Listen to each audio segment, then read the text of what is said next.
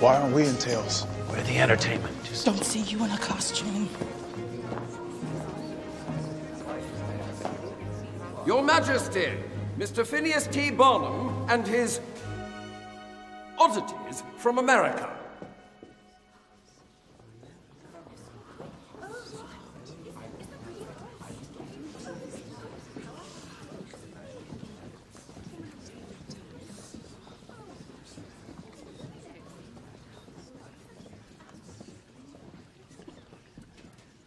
Your Majesty, may I present Mr. Barnum?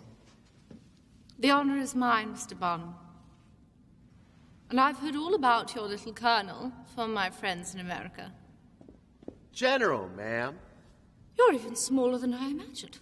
Well, you're not exactly reaching the top shelf yourself, sweetheart.